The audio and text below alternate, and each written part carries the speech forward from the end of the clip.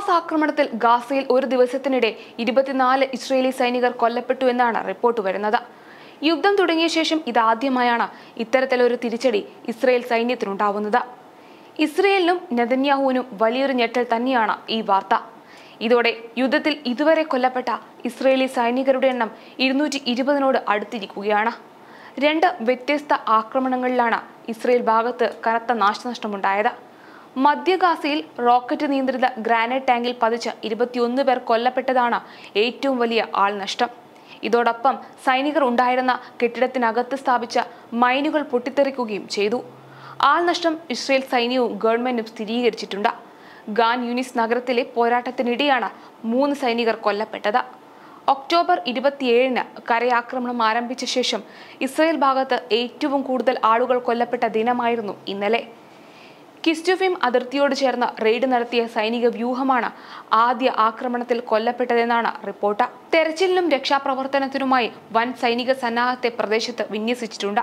സംഭവം അന്വേഷിക്കാൻ I D F പ്രത്യേക അന്വേഷണ സംഘത്തെയും നിയോഗിച്ചു. ഹീറോകളുടെ കല്ലറകളിലേക്ക് നമ്മുടെ മക്കളിൽ മികച്ചവർ കൂട്ടിച്ചേർക്കപ്പെട്ടു എന്നാണ് ഇസ്രയേൽ പ്രസിഡന്റ് ഇസാഖ് ഹെർഗോസ് എക്സിൽ കുറിച്ചത്.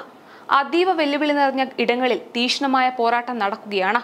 പോരാട്ടത്തിന്റെ ലക്ഷ്യം എത്തിപ്പിടിക്കാനുള്ള ദൃഢനിശ്ചയത്തോടെ ജോലി ചെയ്യുന്ന ഐ ഡി എഫ് സൈനികർക്കും സുരക്ഷാ സേനയ്ക്കും കൂടുതൽ കരുത്ത് എത്തിച്ചിട്ടുണ്ട്. മരിച്ചവരുടെ ബന്ധുക്കളോട് രാഷ്ട്രത്തിന്റെ പേരിൽ അനുശോചനം അറിയിക്കുന്നു. പരിക്കേറ്റവരുടെ സൗഖ്യത്തിനായി പ്രാർത്ഥിക്കുന്നു.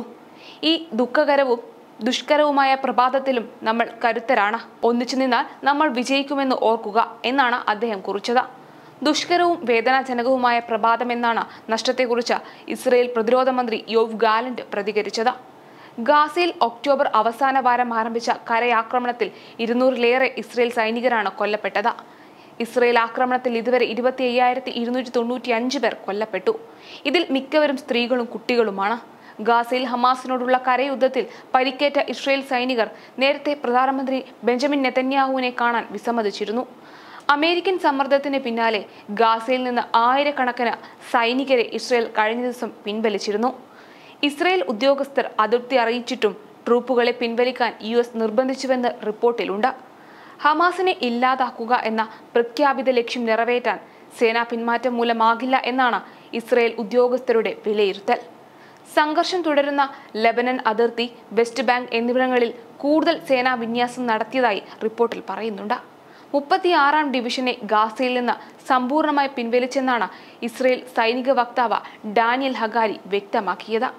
വിശ്രമത്തിനും പരിശീലനത്തിനുമാണ് ഡിവിഷനെ പിൻവലിച്ചത് എന്നാണ് ഔദ്യോഗിക വിശദീകരണം. വടക്കൻ ഗാസ മധ്യ ഗാസ തെക്കൻ ഗാസ എന്നിവിടങ്ങളിൽ ഓരോ ഡിവിഷൻ സൈനികർ വീതമാണ് ഇപ്പോൾ ഇസ്രയേലിനുള്ളത്. ഹമാസ് ശക്തി കേന്ദ്രമായ ഗാൻ യൂണിസിലെ സേനാ വിന്യാസം വർദ്ധിപ്പിച്ചതായും ഹഗാരി പറയുന്നുണ്ട്. ഇസ്രയേൽ ഇക്കാര്യം അംഗീകരിച്ചാലും ഇല്ലെങ്കിലും ഹമാസിനെ ഇല്ലാതാക്കുക എന്ന ലക്ഷ്യം ഇസ്രയേലിന് കൈവരിക്കാൻ സാധിക്കില്ല. ഇപ്പോഴും ഭാവിയിലും എന്നാണ് വിദഗ്ധർ പറയുന്നത്.